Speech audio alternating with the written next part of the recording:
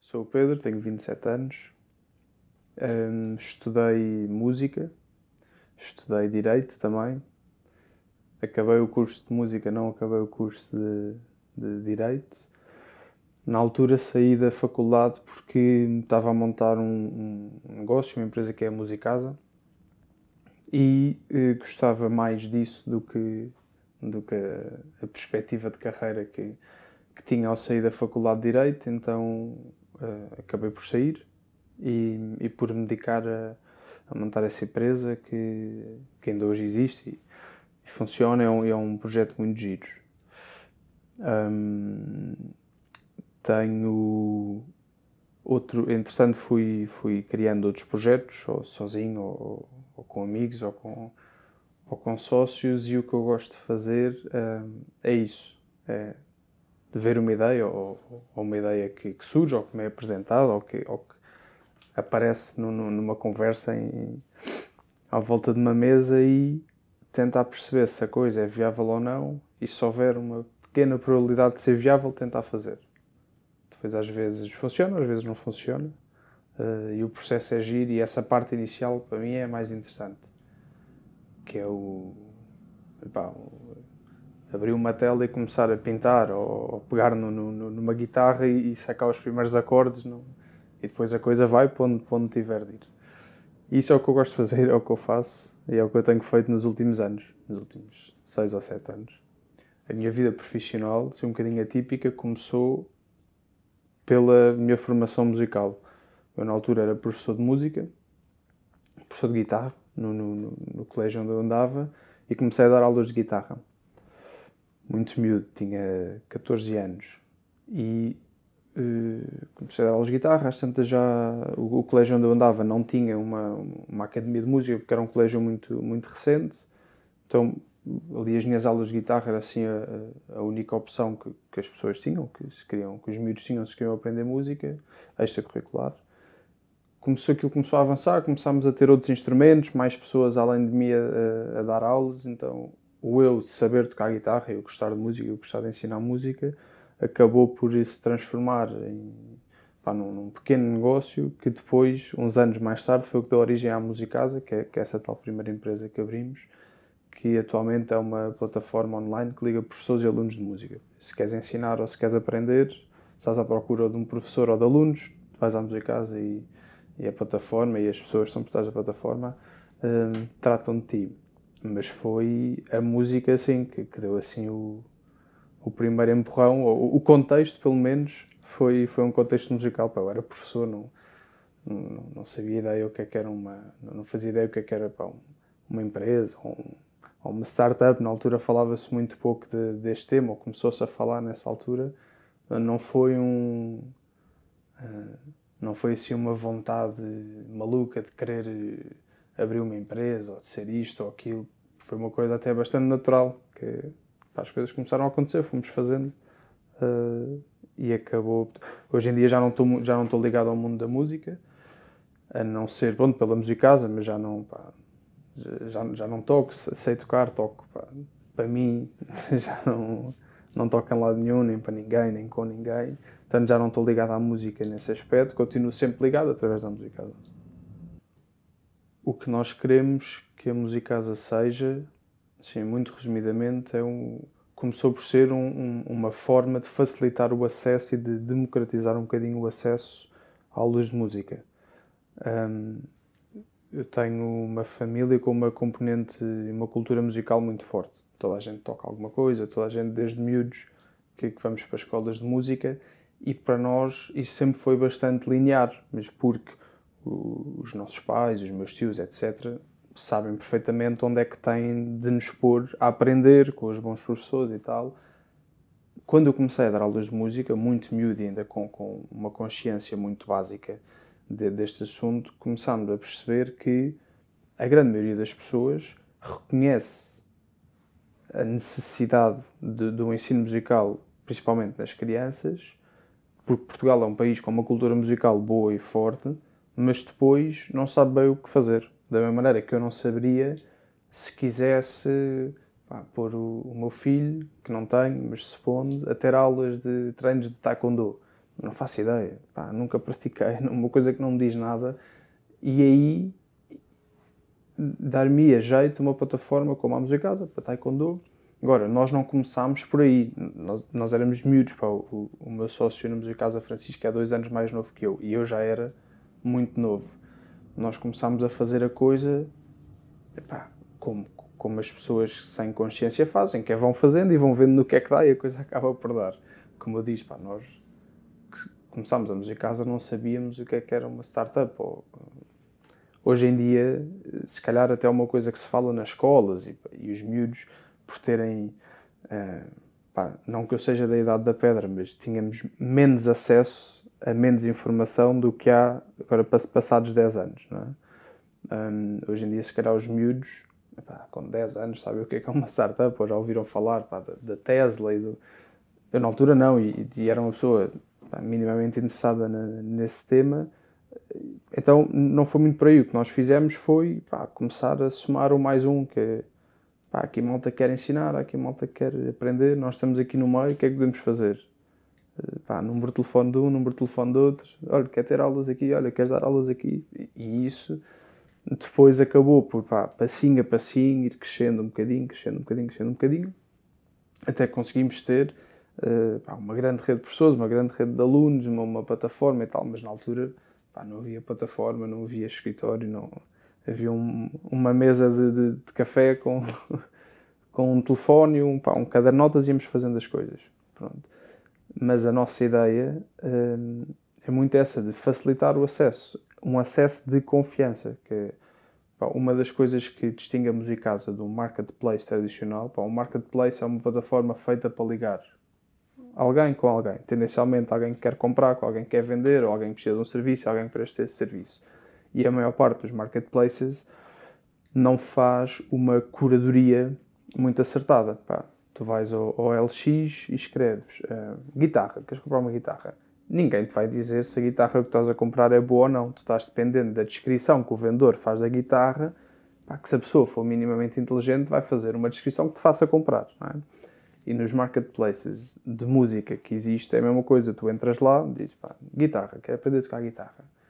E aparecem-te uma data de professores, uma listagem de vários professores, com uma descrição deles, feita por eles, que naturalmente vai ser a melhor, pá, de, vamos dizer, pá, sou muito bom e faço isto há não sei quantos anos e tal e tal. É o normal, pá, as pessoas vendem-se, todos vendem o nosso peixe. Agora, isso pode ser um bocadinho bias, de, de, tendencioso para as pessoas, que é, tu no limite podes estar a ir não pela objetividade da qualidade da pessoa que te vai dar aulas de música, a ti ou aos teus filhos, que ainda é um tema mais sensível, pois há questões de segurança e este tipo vai ter um fator pá, preponderante aqui no, no, no, ensino dos meus filhos, nem que seja uma hora por semana, pá, este tipo vai ser uma figura presente e é importante que seja uma, uma pessoa de confiança. E não há forma de tu uh, saberes isso. E o que a Musicasa faz é um matching, como nós chamamos a ligar para um professor com determinado aluno, uh, com curadoria. Portanto, é uma pessoa, uma pessoa da nossa equipa, que diz, pá, este tipo é bom professor para as necessidades deste aluno. Este em específico, para este em específico. Juntamos os dois. Agora vão à vossa vida e nós vamos estar aqui ao lado sempre a acompanhar o processo e nós achamos, e é uma coisa que nós, pá, não. que, que era muito mais fácil nós não fazermos essa curadoria, sistema aberto, pá, falem entre vocês, quem quiser, e nós não abrimos mão disso porque somos, os, os dois fundadores somos músicos, já não somos, mas pá, estudámos, temos formação, éramos professores, portanto isso para nós é uma coisa importante, e porque depois temos esse, pá, esse pilar base de democratizar o acesso, facilitar o acesso, pá, mas com qualidade. Não, não me serve nada facilitar o acesso de um aluno que está, cheio de vontade de, de aprender, pá, pois a um tipo que é um charlatão, que só quer não sei o quê, e, não, e aquilo não vai correr bem. Isso só vai prejudicar hum, a indústria, os outros professores, pá, os outros alunos, a própria da empresa. Hum, então é isso que nós fazemos. Pá, e depois é, vemos que a coisa funciona e que de facto as pessoas... Hum, precisavam disto. Pá, não, não é água, não é uma coisa que, uh, sem a qual passamos mal, mas é uma coisa que facilita. E nós pá, fazemos o nosso papel de facilitadores para pessoas que querem uh, aprender e ensinar. Da parte dos professores, o nosso papel aqui no, no ecossistema é pá, proporcionar uma maneira de aumentar o rendimento dos professores. A indústria da música, tirando, pá, se calhar, uma pequena percentagem que são os músicos famosos ou as bandas e tal, é uma indústria pá, cada vez menos, se calhar, mas relativamente pá, precária, porque há muita gente com esse sonho, há muita gente com essa vontade de fazer daquilo pá, uma coisa hum, que, que dê sustento para a vida, mas não depende necessariamente de uma hum, procura. Ou seja, pá, quando os Beatles aparecem, ninguém estava à procura dos Beatles. É? Naquele, o que as pessoas estavam à procura naquela altura era pá, assim, um, um grito do Ipiranga, pá, uma coisa de liberdade, e pá, abanar um, um bocadinho a anca, não estavam à procura dos Beatles, portanto os Beatles não, estavam, não, não, não vieram uh, tapar nenhuma necessidade, mas vieram pá, fa fazer o seu papel, o que é que eu quero dizer com isto? Há muito mais músicos emergentes e muito mais oferta musical do que uma real necessidade. Mas porque é normal, porque pá, a cultura não vive, não vive de, de necessidades. Pá, os bons filmes, não é? as pessoas não estão à procura daquilo, para finalmente chegou este filme que eu queria mesmo ver. Pronto. E aí está sempre dependente da aceitação do público se determinado pá, músico, determinado performer, determinada banda, se vai ter sucesso ou não. Enquanto pá, num, um serviço como um canalizador, que é super útil, é útil e é necessário. Pá, se tu tens um problema, uma infiltração, precisas de um canalizador pá, e e é aí um bocado essa procura que condiciona a oferta. Na música eu não acho muito ser a procura, condiciona a oferta porque, pá, uh, usando a expressão do Steve Jobs, nós temos pá, mil músicas no nosso bolso, não é? Com um iPod agora menos, mas com um, um iPhone, um Spotify, seja o que for, pá, temos milhares e milhares, de, de no limite milhões de, de, de, músicas. Portanto, tu podes ouvir N, N bandas diferentes, gajos diferentes, e aí os músicos estão sempre dependentes se alguém vai gostar ou não e quantos ouvintes ativos é que têm por mês no Spotify e tal. E há muitos músicos que conseguem viver disso, depois fazem jingles, músicas para, para publicidade, os grandes conseguem fazer tours, lançar CDs, etc. Os pequenos músicos pá, são músicos de estúdio ou, ou dão uns gigs, fazem uns concertos aqui e ali e muitos têm de se virar para o ensino porque há uma segurança e tem um rendimento ali assegurado, e porque se são bons a fazer aquilo que sabem fazer e se empenharem na, um, um bocadinho, se, se, se, se embrenharem um bocadinho a fundo na, na, na pedagogia, percebem pá, que se calhar conseguem passar aos outros não só os conhecimentos técnicos que eles têm, mas a paixão e a vontade de tocar naquilo e tal. E nós, na Musicasa, pá, gostamos de acreditar que temos o nosso papel aí, que conseguimos ajudar uh, músicos, uns são mesmo músicos, outros são só professores, para nós somos muito abertos. Nós temos malta para estudantes universitários que não são músicos, estão a estudar para direito, como eu estava na altura, uma coisa qualquer, mas vem ali uma oportunidade de ter um rendimento extra, que para nós, ótimo. Estamos a, facilitar o acesso na mesma. E também temos casos de músicos de bandas, pá, que se eu dissesse o nome, tu, tu ias reconhecer que estão a passar, se calhar, períodos um bocadinho mais difíceis, pá, pelo Covid e por tudo mais, e que vêm na Musicasa Uh, e se calhar noutros sítios uma oportunidade de pá, ter ali um rendimento que, que lhes permita uma qualidade de vida um, que eles precisem. E pronto, pá, pois é sempre a, a, indústria da música como qualquer indústria que, pá, que sofre um bocadinho com, com, com, esta falta de oportunidades, pois as pessoas ficam um bocadinho revoltadas. É? Então uma plataforma como a nossa, que, cujo modelo de negócio é ficar com uma comissão do serviço prestado por outra pessoa, uma plataforma, uma plataforma como a nossa é muito crucificada. Pá. Nós fartamos de, de, Nós sabemos que estamos a ajudar, mas para isto ser viável, ou era pá, projeto financiado por fundos públicos ou alguma coisa, ou toda a gente tem de ter uma fatia do bolo. Não é? é assim que as coisas funcionam.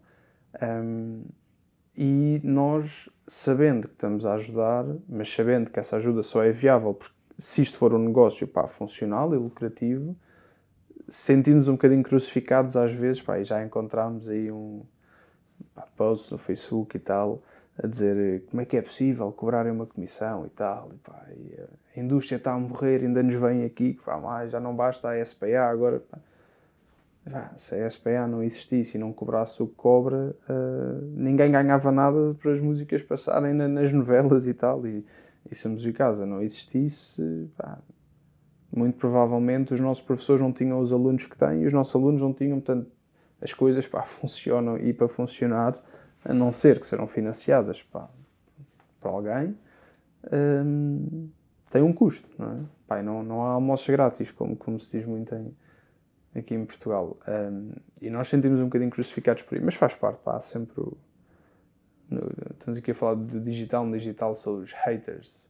De, há sempre, vai sempre haver, e nós aprendemos também com isso, e, e, acho que as empresas têm muito a aprender com os haters, porque às vezes não é tanto aquilo que tu fazes, é a forma como te posicionas, não é?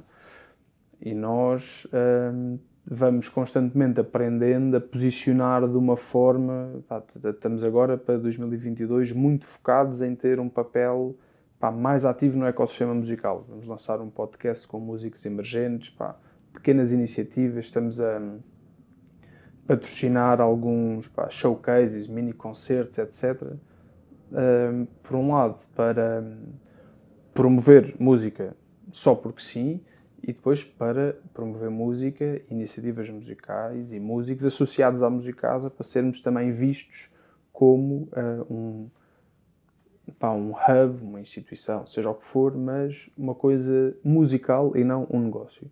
E aí acho que conseguimos estar mais perto dos dois lados da moeda, dos professores e dos alunos, e ao darmos um bocadinho à comunidade da música, ou fazermos parte, se calhar, esse posicionamento que não muda a nossa visão, não muda aquilo que a Musicasa é, que é uma plataforma, pá, é um negócio, mas é uma plataforma para facilitar o acesso à aulas de música para professores e para alunos, esse posicionamento estar mais dentro do mundo da música, acho que nos pode ajudar depois na percepção de, que os músicos têm sobre o nosso tipo de serviços.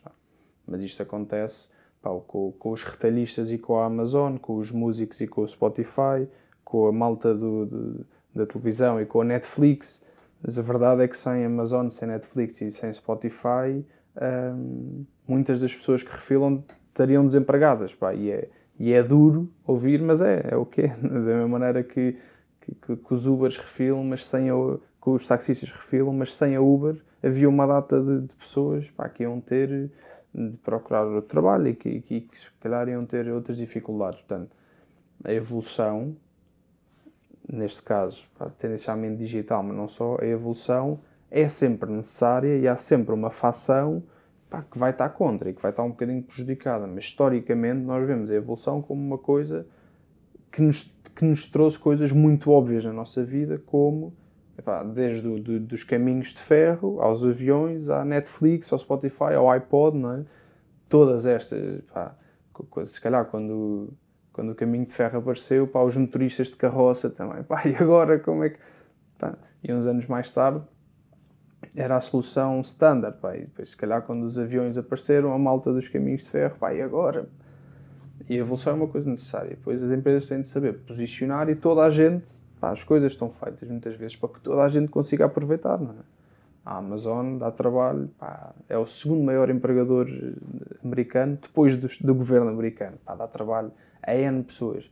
Podia pagar melhor, podia ter melhores condições, pá, possivelmente. Também não, não, não conheço a fundo. Agora, se a economia uh, pá, local se colapsava no dia em que a Amazon fechava portas, se colapsava, não sei, que muita gente ia ficar desempregada, pá, garantidamente. É? Portanto, estas coisas funcionam, cada um tem a sua fatia do bolo, pá, fatias maiores que outras, e é assim que a coisa funciona.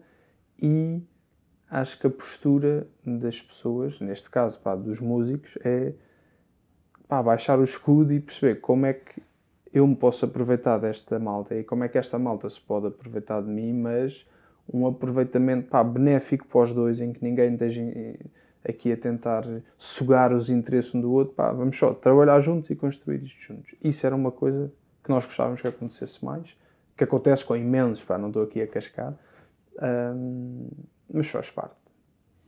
Fazendo ponto com, com o que estava a dizer antes, acho que há fatias do bolo para toda a gente, há espaço para toda a gente.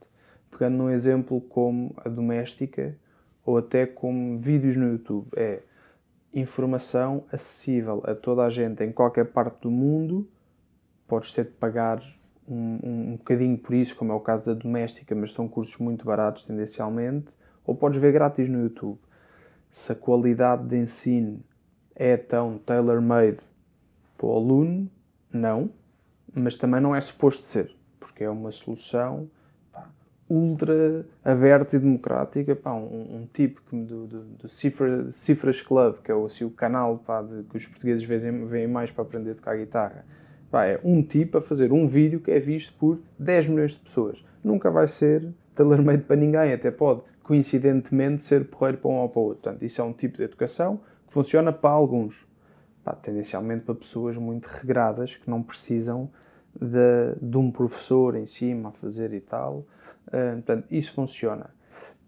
O ensino mais formal, institucional, como o conservatório, academias de música, o hot club, uh, eu acho que isso já é para um nicho de quem quer levar a coisa com um nível de seriedade pá, um ou dois degraus acima, porque um, epá, é mais caro, começa por aí, requer um esforço muito maior do aluno, naturalmente dos professores, mas requer um esforço muito maior que o aluno e a carga horária pá, é brutal, tendo em conta que as pessoas estão a fazer outras coisas. Portanto, eu estava na escola, estava a fazer o secundário e depois o início de faculdade quando estava a estudar.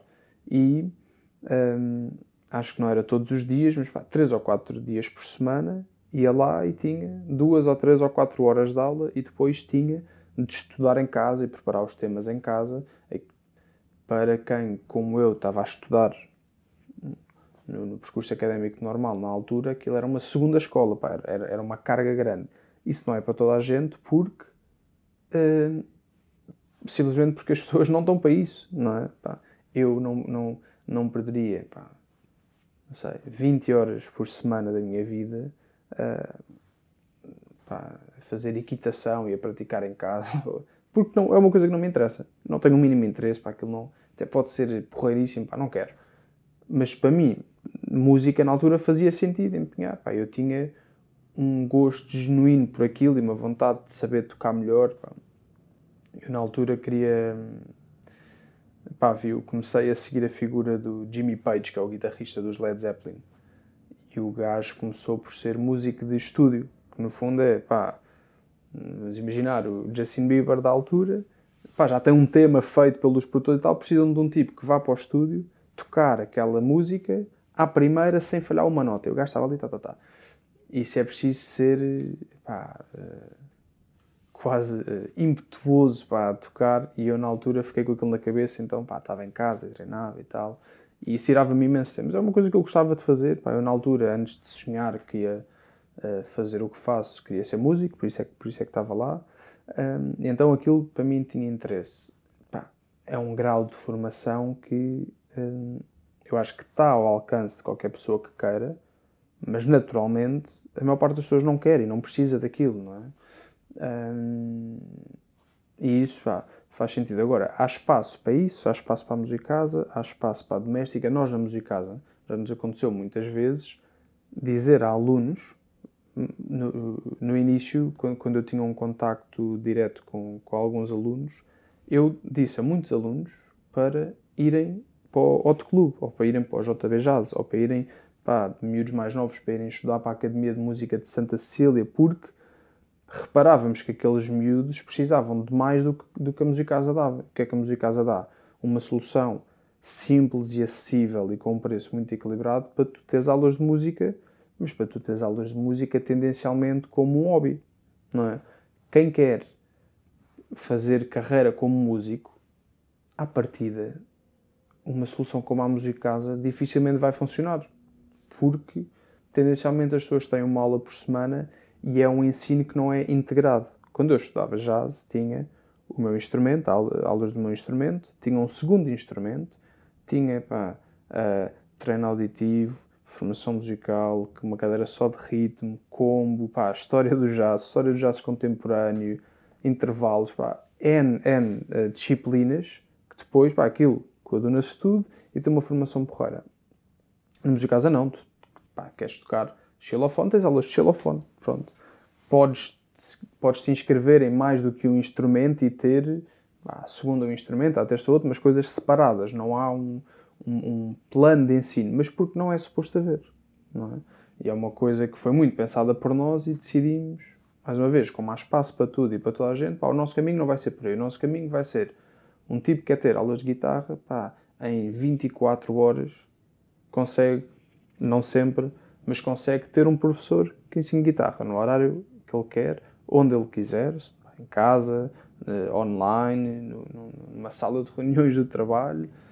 E isso é o que nós estamos a fazer. Pá, há malta que não quer e prefere aprender no YouTube. Tudo bem, há espaço para todos. Há malta que aquilo não é suficiente e quer ir para uma escola de jazz. Tudo bem, há espaço para todos. Há pessoas que veem aqui a solução perfeita, que é eu tinha o meu filho numa escola de música, tinha de ir pôr lá de carro uma vez por semana e perdia uma hora a ir e uma hora a voltar e depois tal e tal. E aqui a pessoa está em casa, aparece lá um professor, olá, vem dar uma aula de guitarra. Os Global Shapers são uma iniciativa do Fórum Económico Mundial, um, mas a iniciativa Global Shapers em si não está necessariamente ou diretamente ligada a uma discussão económica. É? O fundador do Fórum Económico Mundial, às tantas, sentiu a necessidade de chegar mais pá, às camadas jovens, por assim dizer, criou os Global Shapers. Um, no fundo, é um grupo de pessoas, pá, neste caso, falando aqui do nosso Hub Lisboa, pá, é um grupo de malta pá, aqui, aqui de Portugal e com pessoas que, que estejam a viver em Portugal, mas sendo de outros países também, também podem fazer parte e internamente promovemos uma série de uh, discussões e iniciativas para, assim, muito genericamente, pá, melhorar a sociedade. Não somos pá, os Batmans do, do, do sítio, mas fazemos coisas pá, dentro da nossa capacidade e, e, dentro do, das áreas de ação que nós achamos mais, mais urgentes e mais importantes. É sempre preciso afunilar, não é? Idealmente fazia-se muita coisa é preciso afunilar um bocado e desenvolvemos uma série de iniciativas que achamos que vão ajudar a comunidade, não a comunidade toda, mas aquele grupo da comunidade e aquele grupo da comunidade. Hum, é uma coisa muito interessante que há em N países uh, pelo mundo fora e que uh, pá, faz sentido, porque no fundo o, o, o Global Shapers o que representa é pá, um grupo de pessoas que dedicam um bocadinho do seu tempo a tentar fazer uma coisa porreira. Pá, da mesma maneira que uh, os escoteiros se calhar fazem isso, pá, não, não, não tenho conhecimento de causa, mas da mesma maneira que há N grupos também fazem isto, os Global Sweepers. É mais um grupo que, que faz isso. Portanto, um grupo de malta, pá, backgrounds completamente diferentes, pá, no, no nosso, no, no hub aqui de Lisboa, pá, temos um, um atleta olímpico, pá, temos um surfista, uma médica, uma advogada, pá, depois muita malta de, mais da minha área, de, pá, empresários ou, ou, empreendedores, pá, temos um escritor, pessoas pá, de, com rotinas e vidas completamente diferentes e isso depois é muito útil para a explosão de ideias e para a complementariedade de funções dentro dos vários projetos. Hum, é uma coisa super interessante. Na prática, o que é que nós fazemos?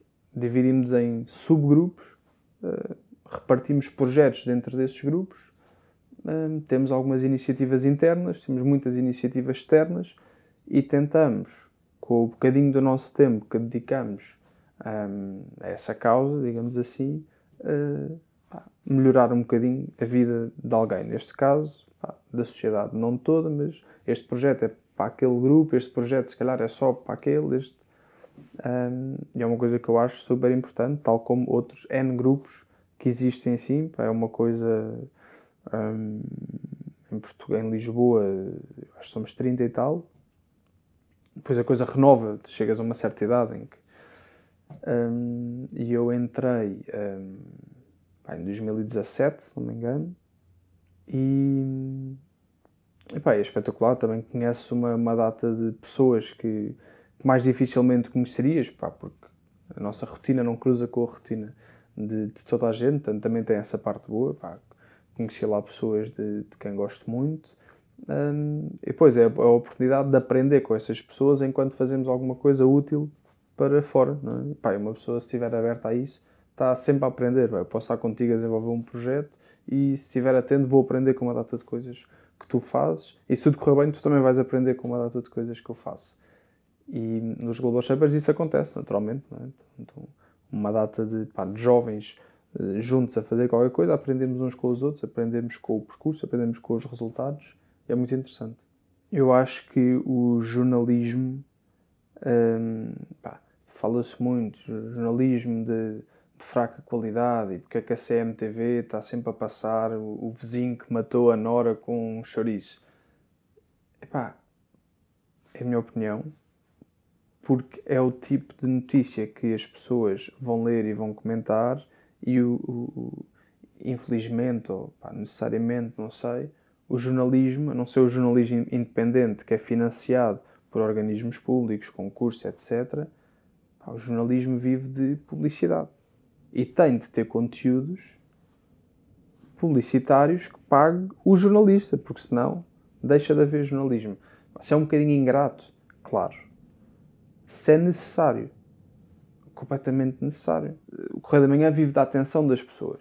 É? Como é que eu posso captar a atenção daquela pessoa se, à partida, a notícia que eu quero passar vai ser passada por outros tantos canais e se calhar esses canais até estão melhor cotados e têm mais audiências.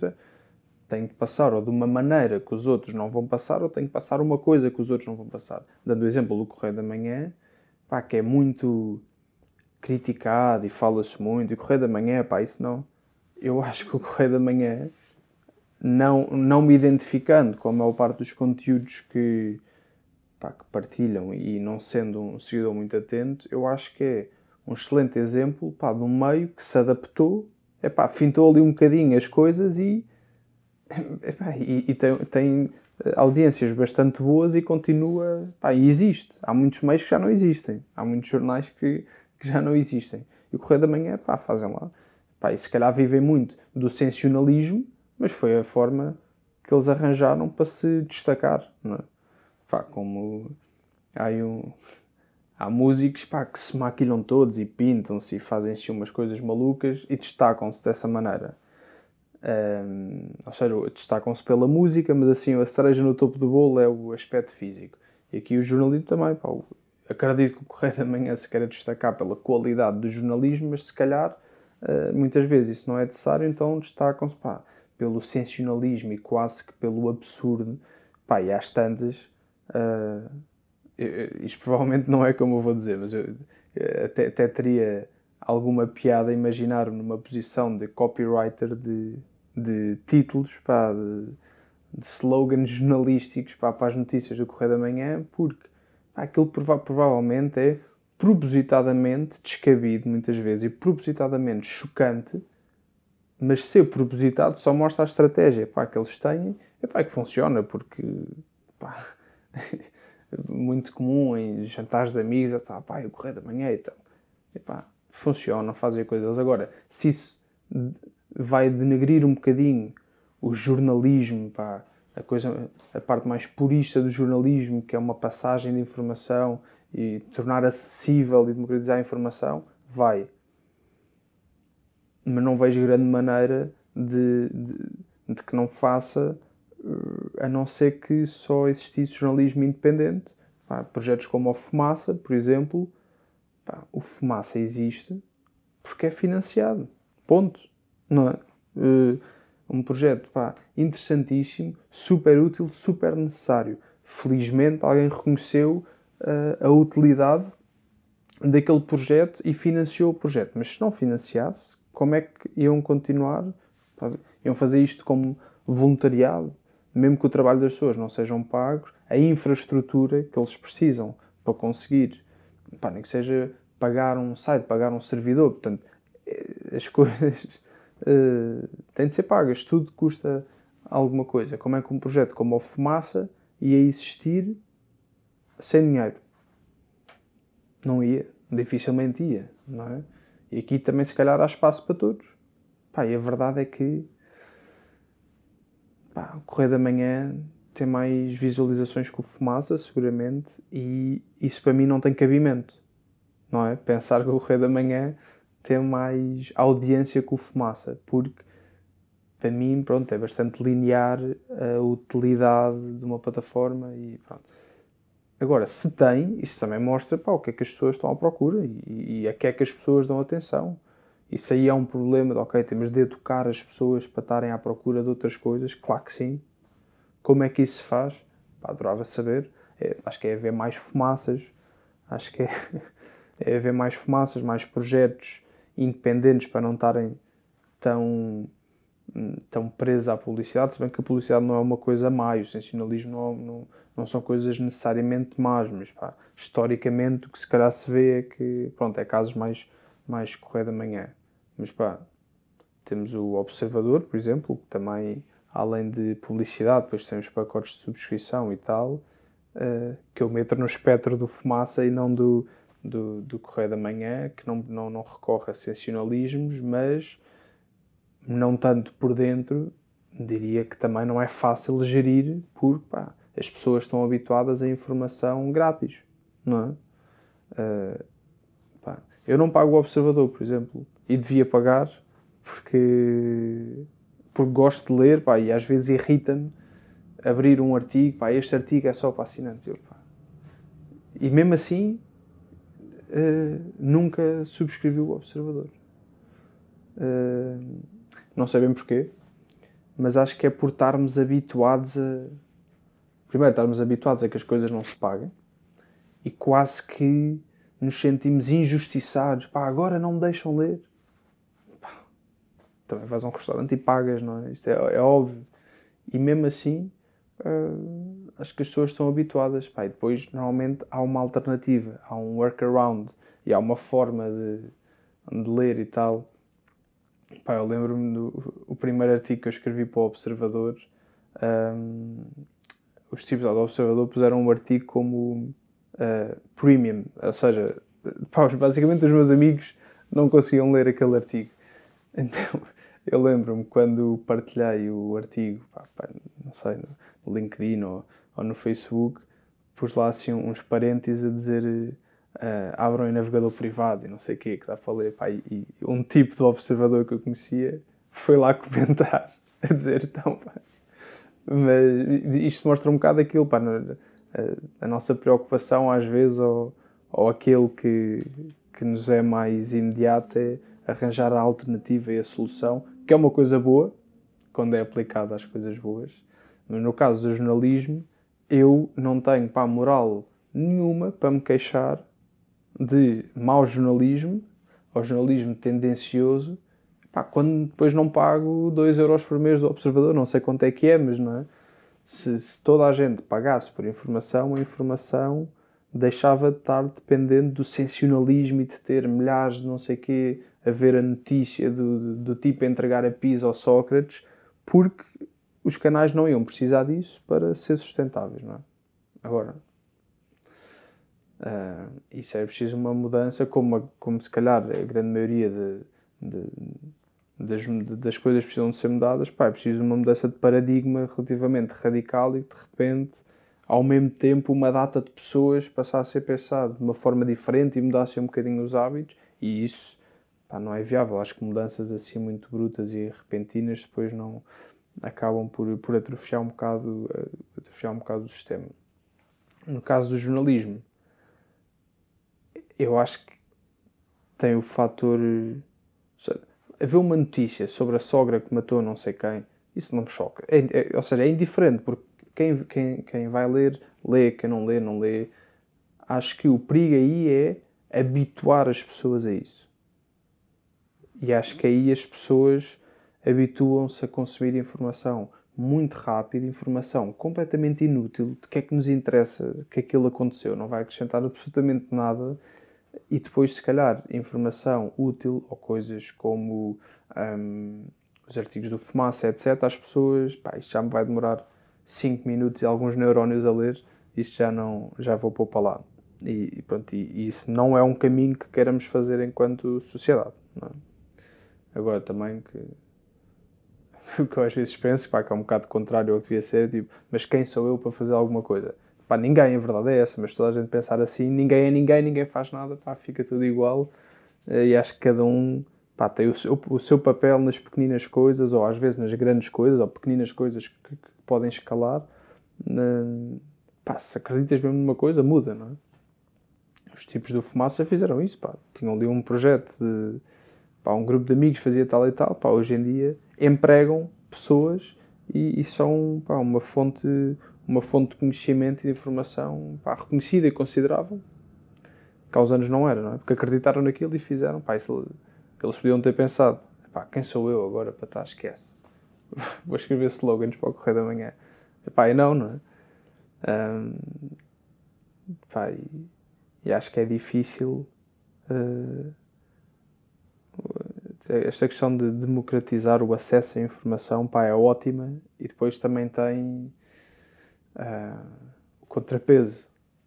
É? é como, como estava a partilhar há bocado também na, na nós estamos a querer pá, fazer uma coisa boa e às vezes temos um backlash, temos um, assim, um, um, contrapeso mais, mais negativo em algumas partes. Pá. E aqui é a mesma coisa.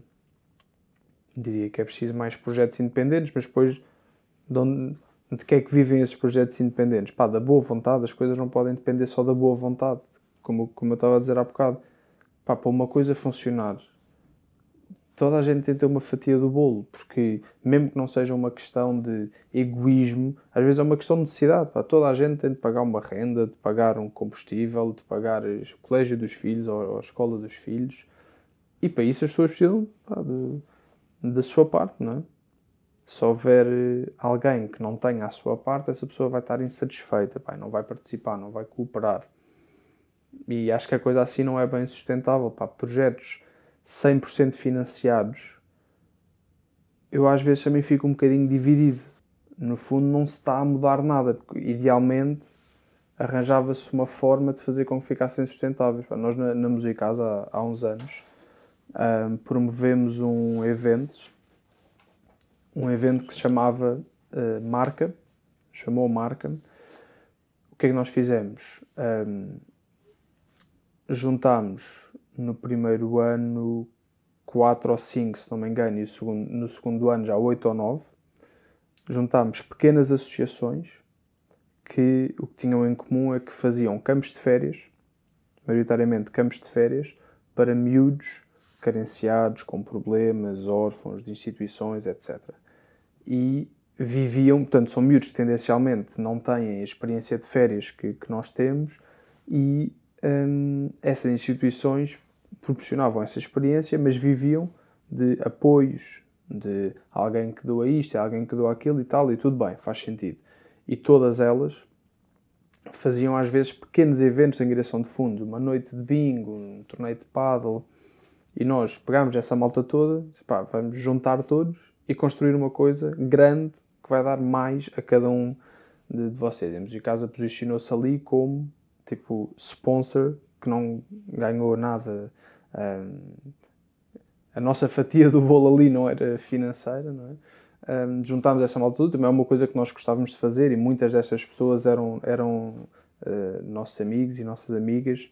Então, o que é que nós fizemos e é o tipo de pá, ação social ou voluntariado ou estes projetos que eu acredito é, em vez de dar um euro a, a uma associação, eu que sei como gerar aquele euro, não é? vou ajudar a associação a gerar aquele euro. Então nós pegamos nesses 8 ou 9 campos de férias, associações, e ajudámos a que eles conseguissem montar um grande evento, que à nossa escala uh, foi um grande evento. No, no, segundo ano tivemos quase 4 mil pessoas, que para nós era uma coisa espetacular, para sem zero investir em publicidade, não, não estávamos em outdoors, foi passa a palavra e tal.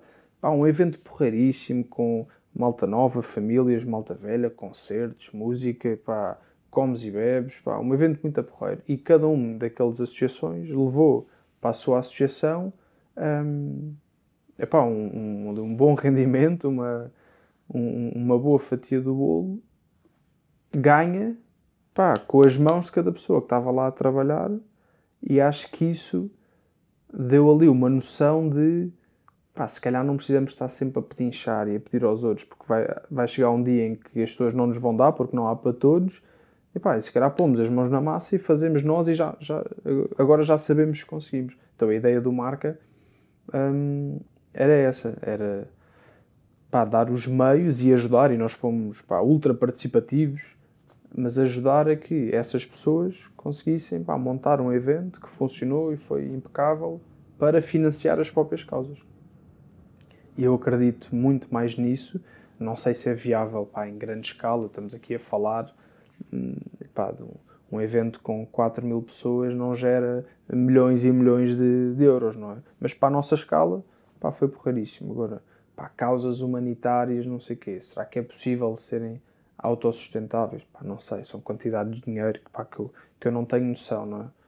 Agora, estas pequenas coisas, será que é possível de pá, que todos tenham assim, o, o seu.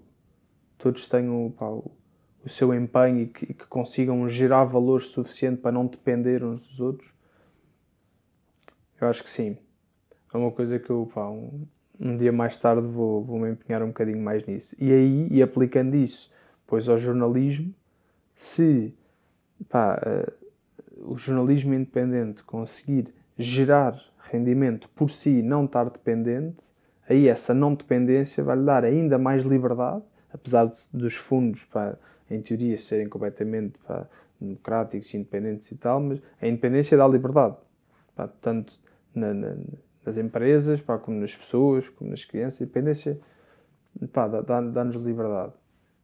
E eu acho que isso seria um caminho a seguir, mas depende pá, pronto, de, de, cada jornalista, de cada organização, de cada associação, mas no fundo pá, pedir menos e fazer mais e, e, a maior parte das pessoas que pedem não é numa ótica de preguiça, mas é assim que a coisa funciona. Pá, os donativos são coisas ótimas e ultra necessárias, mas pá, minha mãe, dando aqui um exemplo, trabalha numa associação que é o Valdacor que dedica-se há 27 anos, se não me engano, a, a recuperar uh, toxicodependentes e pessoas com adições.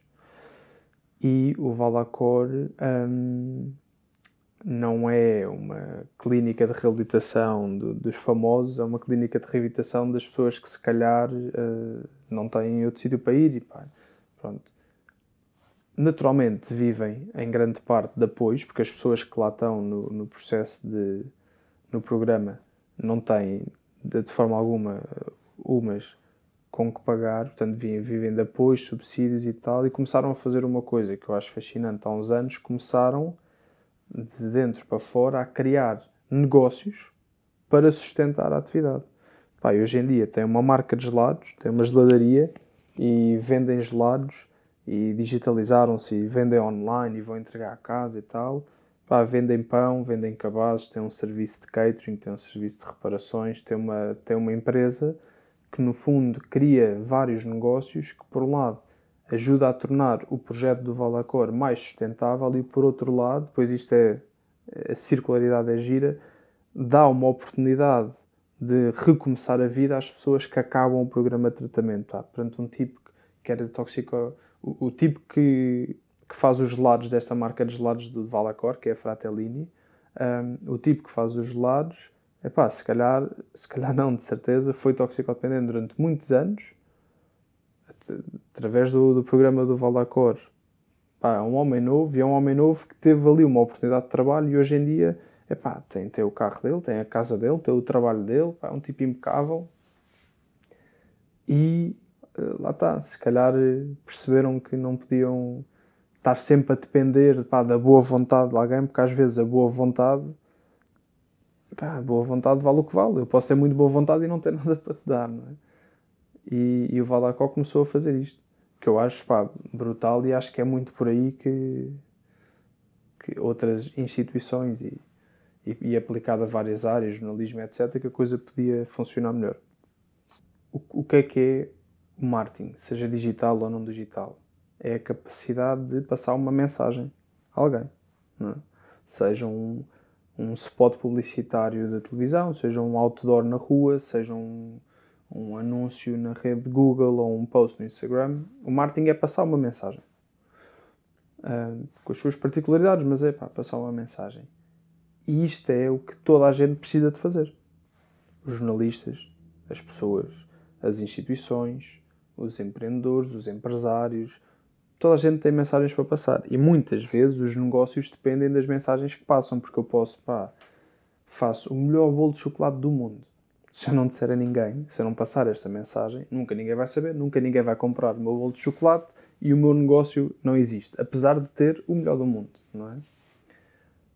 Portanto, acho que o marketing digital e não digital e em todas as suas formas de comunicação, claro que umas são mais fáceis e mais acessíveis que outras, o digital é mais fácil e mais acessível do que, do que o marketing tradicional para a nossa geração, é completamente uh, essencial. Agora, o marketing digital pode passar por ter anúncios online ou pode passar por uma campanha de promoção do boca a boca em que as pessoas depois, fora do digital, offline, um, partilham. Na Musicasa nós fazemos, temos uma, uma campanha ad eterno em que promovemos digitalmente, mas depois reflete-se no, no, offline.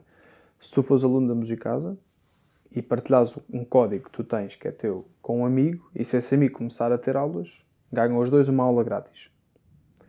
Sem limites. No limite, nunca aconteceu, mas um tipo pode ter aulas na Musicasa sem nunca pagar. Basta trazeres amigos equivalentes ao número de aulas que queres ter e não pagas. Isto é uma coisa que nós comunicamos digitalmente, através de email marketing, campanhas, etc. e que depois se uh, concretiza num jantar de amigos. Tu, pá, tu és aluno da Musicasa e ouves um tipo a dizer, pá, eu gostava de ter aulas de piano e tu, pá, então, ora, vais experimentar isto, até ganhamos os dois aqui qualquer coisa. Um, e é uma junção muito boa entre o marketing digital offline, o, o pouco custo que isso tem para nós, pá, o que é que nos custa ir ao Google fazer uma pesquisa. Custa uma ínfima fração do preço que, compramos pelo tele, que pagamos pelo telemóvel, mais uma ínfima fração do nosso pacote de dados da nossa operadora. Pá, cada pesquisa que fazemos no Google pá, deve uma fração pá, milimétrica de, de um valor pá, residual, não é? E nós temos pá, tudo na palma das mãos. É?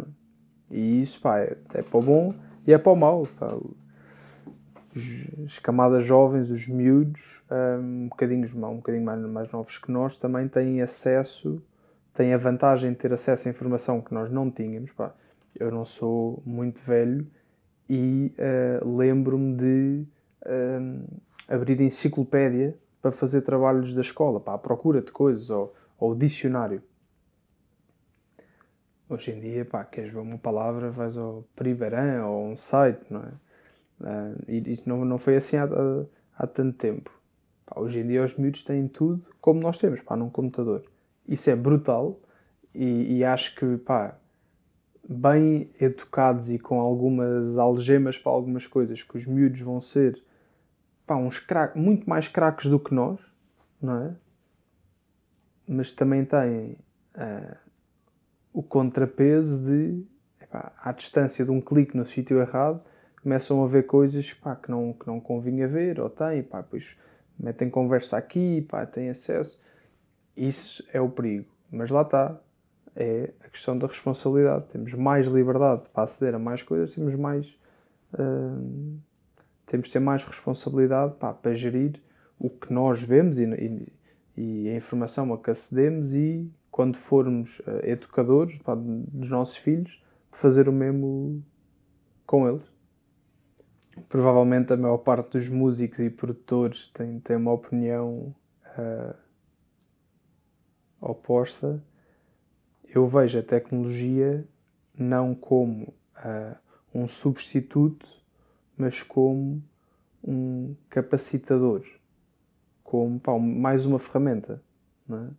pá, antes só tínhamos o, a parafusadora manual, uma chave Phillips. Agora temos uma parafusadora elétrica. É? Pá, se calhar um dia vamos ter um robôzito que vai lá e, bem usado, facilita-nos. Se a tecnologia nos substitui em algumas coisas. Substitui. Substitui, não é? Mas da mesma maneira que a tecnologia substituiu pá, as pessoas que transportavam blocos de pedra para construir pirâmides no Egito. Já ninguém transporta blocos de pedra às costas, não é? Um, a tecnologia na música pá, é brutal. Uh, quase todas pá, as músicas são, têm de ser depois de gravadas, têm de ser trabalhadas em estúdio porque uh, os artistas não são perfeitos. Um baterista muito dificilmente vai conseguir acertar no tempo certo 100% das batidas. E o que se faz em estúdio é ir acertar, tá, pronto, que ele tem, tem uma linha temporal com tal e vai-se acertar um bocadinho para aqui, um bocadinho para ali. O autotune do, do, dos vocalistas. Milimetricamente, pá, nem se repara e tal. Não é que eles cantem mal, já cantam muito bem, mas acertar ali, isso é normal. Agora, se puder fazer isso com uma ferramenta 100% automatizada, pá, maravilha. Vou poupar.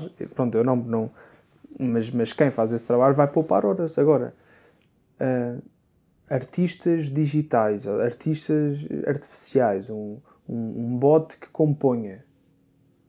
Epá, a não ser que eu tenha medo que ele seja melhor que eu e que eu vá perder audiência e palco para a minha música, porque um robô está a fazer melhor música que eu, para que é que me de preocupar?